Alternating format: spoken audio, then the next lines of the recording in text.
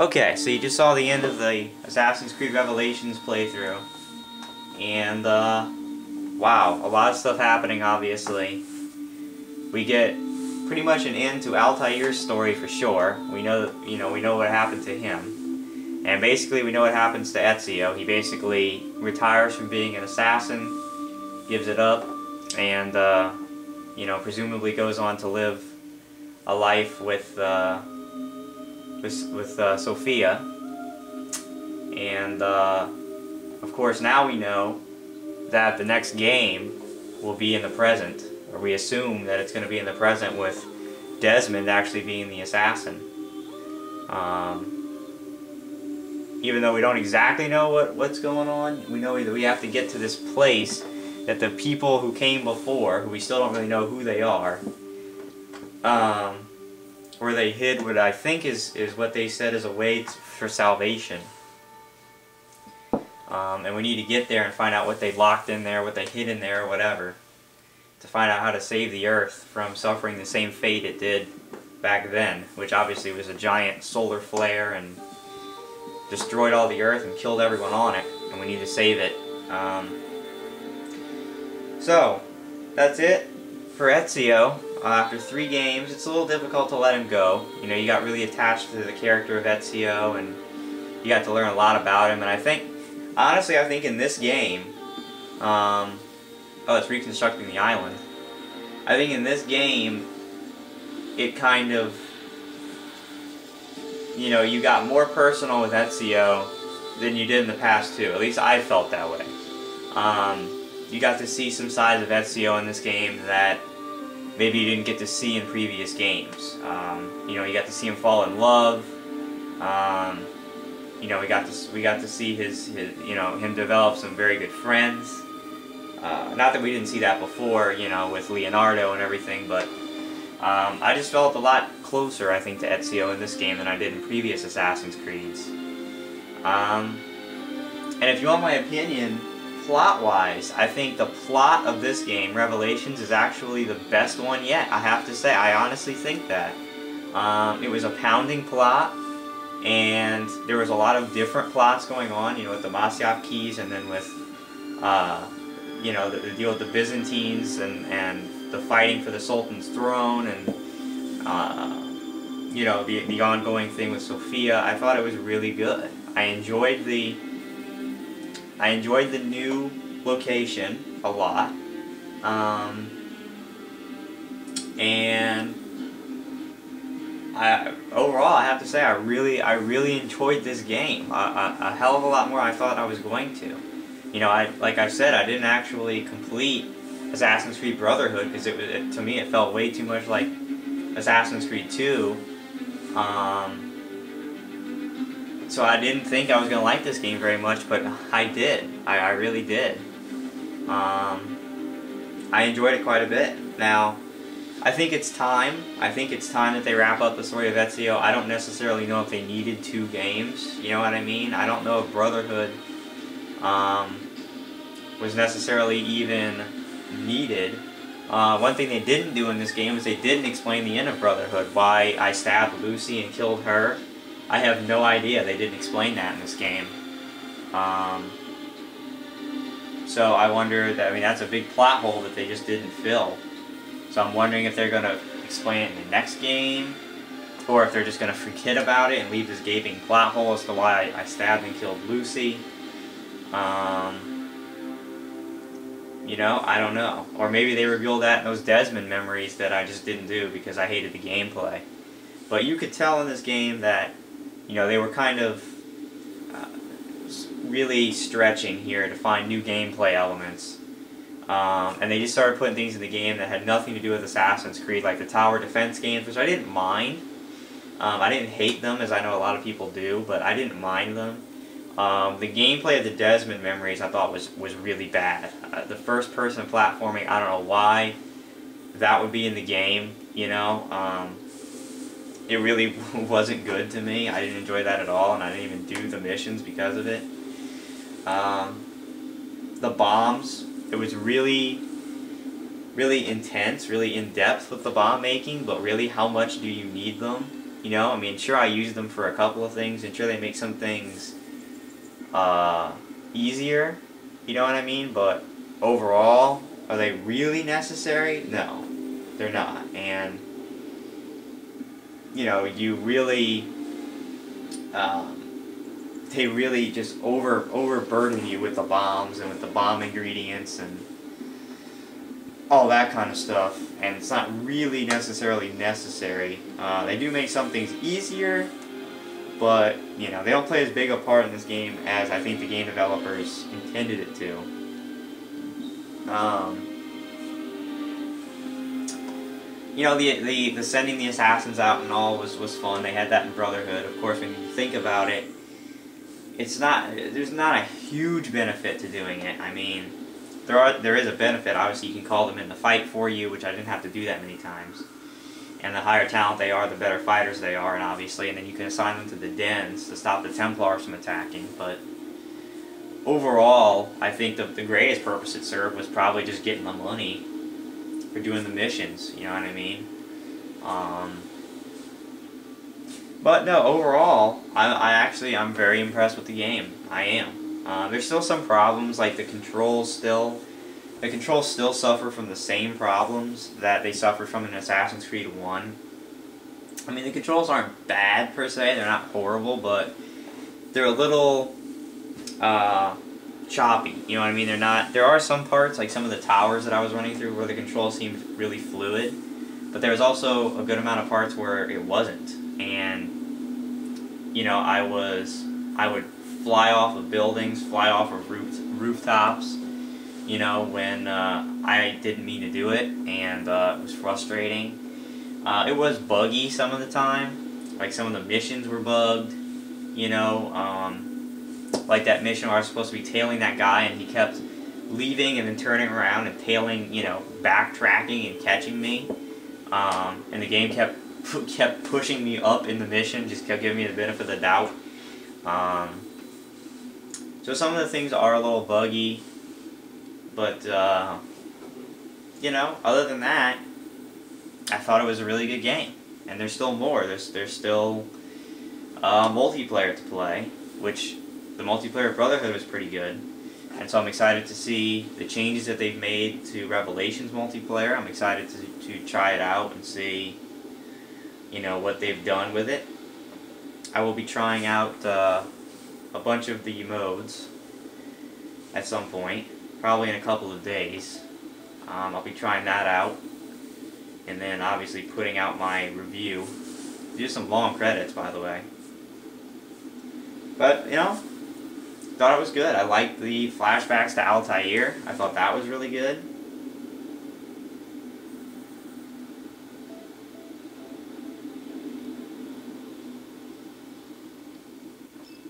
one of my favorite games of the year, I have to say. Surprisingly so, but it, it was. It was one of my favorite games of 2011.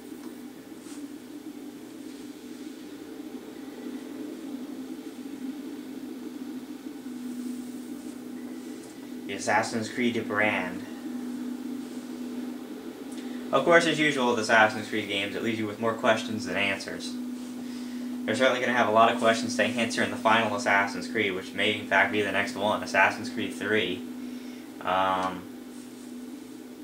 or whatever they decide to call it, because I mean, really, this this one was the fourth Assassin's Creed, the next one will be the fifth one, so it'll be a little weird to call it Assassin's Creed 3 when it's the fifth game, but whatever they call it.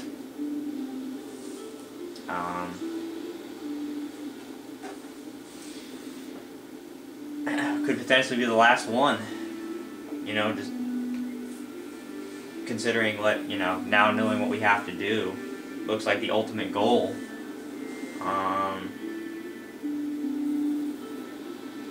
so the next one, yeah, I mean, there's probably will be some, you know, ancestor.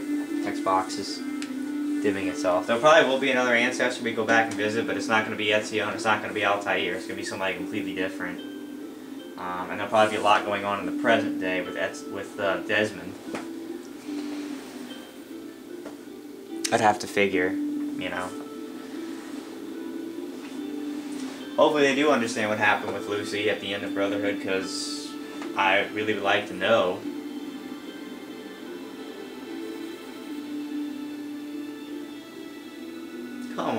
How long are these credits? It's crazy.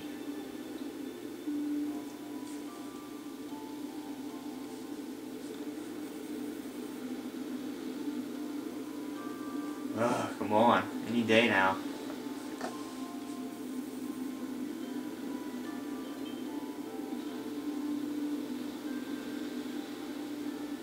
Martin Asnong. Cyril Bordat. There's some names in this in these credits, huh? Julien Leheureux. Uh, Leroux. Raphael St. Pierre. I Ionut Calasian. Good lord. oh my god, how many people worked on this game? By the way, for this game only being made in one year, I'm really surprised and, you know, pleasantly that the game was so good. But, uh, as I said about, you know, them, uh, basically going out on a limb to get some new gameplay elements, that's a result of them making too many games, you know what I mean? If they had put two years into making one game, you know, that was this good, and just maybe a little longer, you know, since Brotherhood didn't have a whole ton of plot development for Desmond. Um, it was more about Ezio and more about finding the Borgias, which he already had done in Assassin's Creed 2. If they had just, you know, maybe put the, the ending of Assassin's Creed 2 or something like that, or I'm sorry, the ending of Assassin's Creed Brotherhood at the start of Revelations, and gone from there, then I think, I don't think anybody would have been complaining. And I think everybody would have been saying Game of the Year, honestly because you would have had all the new additions and you would have had the, the multiplayer making its debut into the series. If the campaign was this good and you know had debut, debuted all of that stuff, man, it would have been uh, definitely a contestant for Game of the Year. But they, I think they made one too many games with Brotherhood. I think this is the game that they should have made all along. You know what I mean? Ubisoft Quebec, come on, man.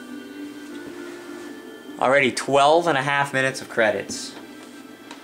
I started this, this new video when the credits started rolling. It's been 12 and a half minutes.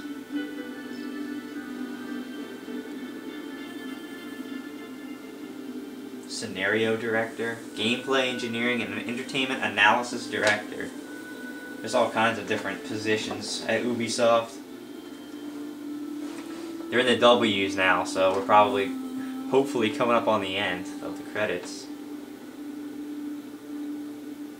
Well, I thought they were in alphabetical order, the categories, but they're not, so never mind.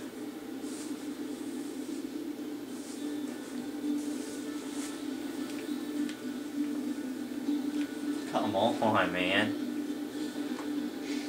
How long are these credits?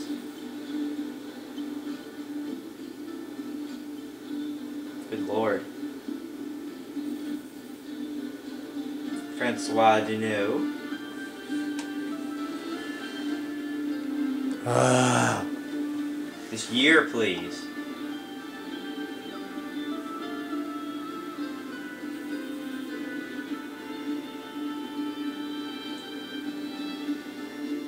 So I never did retake the Final Templar Den. Oh well. oh well. Oh look, we're just now getting into Ubisoft North America. Trisha Alcock. That's a heck of a last name for you. Alcock. oh my god. Can't skip this either. Oh yes you can, just hit start. Oh no, it just pauses the credits.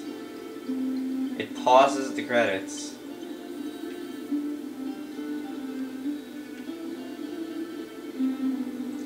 You can't skip them. Nope.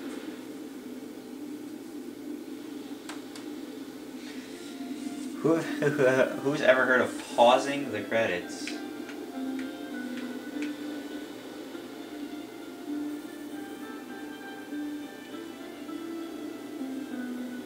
Wilfried. Nobody cares about the production, babies. Adobe Flash Player, if you say so. I have no idea what part of this game was had Adobe Flash. Bink Video. Alright, we're, rolling the logos here, so probably coming up on the end. Dolby, face effects, bunch of Getty images. Havok Engine. Havok Engine, which is always infamous for, for having frame rate problems from time to time. Always found that with every game with the Havok Engine, uh, the frame rates always suffer at some point in the game, and they did in this game.